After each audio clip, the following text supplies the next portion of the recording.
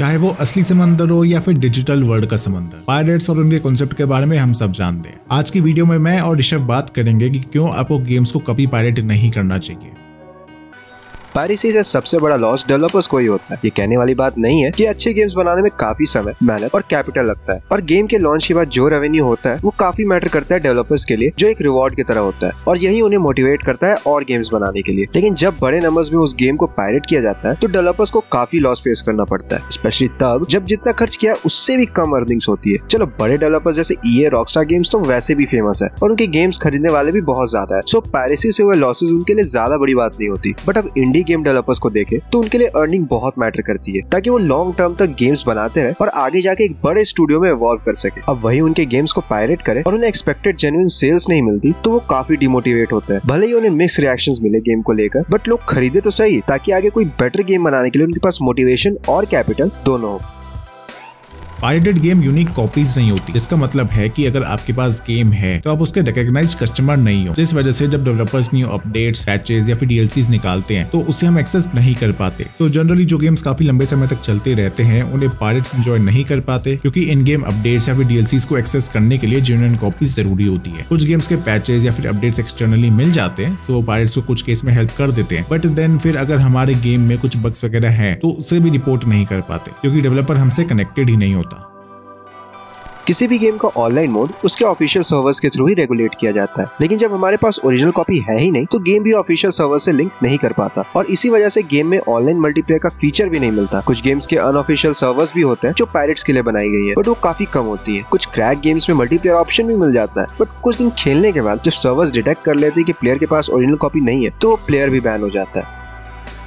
Well well, इससे ज़्यादा frustrating क्या हो सकता है कि आप पूरी रात डाउनलोड पर लगा के छोड़ दो एंड सुबह उठ के उसे एक घंटा इंस्टॉल करने में लगाओ एंड फिर एट दी एंड कोई एरर आ जाए जिसकी वजह से गेम चले ही ना। चलो आज के टाइम तो फिर भी इंटरनेट फास्ट है पर कुछ साल पहले तक तो पंद्रह पंद्रह दिन लग जाया करते थे तीस जीबी के गेम को डाउनलोड करने में। और उसके बाद ना चले तो सोचो कितना दिमाग खराब होगा। अब इंटरनेट पर उसके सोल्यूशन भी काम नहीं करते जिस वजह से वो गेम बस हमारा स्टोरेज स्पेस लेता है और उसके अलावा उसका कोई यूज़ ही नहीं। तो इससे हमारी एक्साइटमेंट और इंटरनेट दोनों एक तरह से वेस्ट ही हो जाते हैं।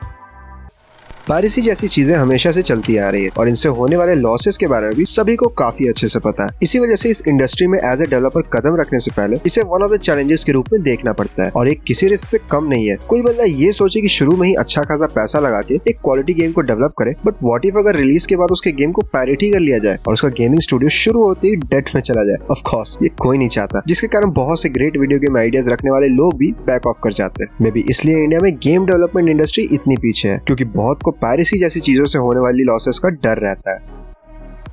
ये हर कोई जानता है कि इंटरनेट पर हर चीज़ जेनुअन नहीं होती। कुछ चीज़ें ऑथेंटिक लगती हैं बट उनके अंदर छुपे होते हैं मेलवेयर एक्सपीरियंस पायरेट्स को तो पता है कि कौन सी पायरेटेड साइट सच में रियल है और कौन सी नहीं बट जो ज़्यादा इन सब के बारे में नहीं जानते, उनके लिए जज करना काफ़ी मुश्किल हो जाता है। एक ही नाम से बहुत सारे पायरेटेड साइट्स होते हैं, जिनके डोमेन नेम में बस एक लेटर का फ़र्क होता है। इस वजह से अगर हम गूगल पे सर्च करें या एड्रेस डालते वक्त एक लेटर की भी गलती कर दे तो गलत साइट खुलेगी, जो की दिखने में बिल्कुल ओरिजिनल जैसी ही होगी। और जब हम उससे कोई फ़ाइल डाउनलोड करेंगे ना तो हमारे सिस्टम में ट्रोजन हॉर्स जैसे वायरसेस आ सकते हैं। यूजुअली अगर एंटीवायरस हो तो पता भी चल जाता है, पर जब ना हो तो बस कुछ सेकंड्स की बात होती है और हमारा सिस्टम इन्फेक्टेड हो जाता है वायरसेस से।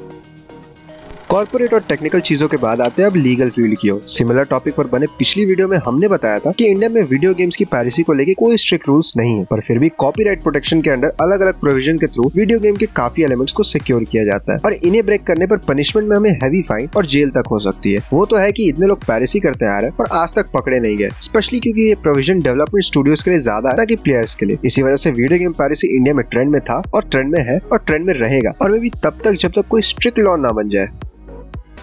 अब हमने सभी एक्सटर्नल रीजन तो बता दिए कि क्यों वीडियो गेम्स पायरेट नहीं करने चाहिए। पर अब अंदर से सोचते हैं। हम सभी को इंसानियत के नाते सोचना चाहिए कि गेम्स पायरेट करना एक रॉबरी से कम नहीं है, जहाँ हम डेवलपर से उनकी मेहनत से बनाई हुई चीज़ को छीन रहे हैं। कल अगर हम भी मेहनत करके कोई आर्ट वर्क या फिर कॉन्टेंट बनाए और कोई उसे ऐसे ही उठा ले बिना परमिशन के, कैसा लगेगा? तो बात काफ़ी सिंपल है। पैसे से खरीदी हुई चीज़ की वैल्यू फ्री की चीज़ से ज़्यादा ही होती है। पीके गेम्स खेलने हैं तो सही वे में खेलो, क्योंकि आए दिन एपिक गेम्स और फ्री गेम्स आती रहती है परचेज के लिए, और वरना दूसरे स्टोर्स भी रेगुलर ऑफर्स निकालते डालते रहते हैं। अब तो प्राइम गेमिंग भी आ रहा है इंडिया में, जो और फ्री गेम्स ऑफ़र किया करेगा। और इसके अलावा भी बहुत से ऐसे गेम्स होते हैं जो कि कम्प्लीटली फ्री हैं खेलने। तो बस यार यही था जो मेनली मेरे को आपको बताना था। अगर कुछ फ़ेमस गेम्स के बारे में जानना चाहते हो, जो लो सेल्स के कारण कैंसिल हो गई थी तो लेफ़्ट वीडियो पे क्लिक करो। और कुछ फ़ेमस होने से पहले फ्लॉप हुई गेम्स के बारे में जानना तो राइट वीडियो देखो। ये वीडियो अच्छी लगे तो लाइक कर दो। गेम्स कॉसिप इंडिया चैनल को सब्सक्राइब कर दो। एंड मिलेंगे आपसे अगली वीडियो में। तब तक के लिए keep gaming and keep gossiping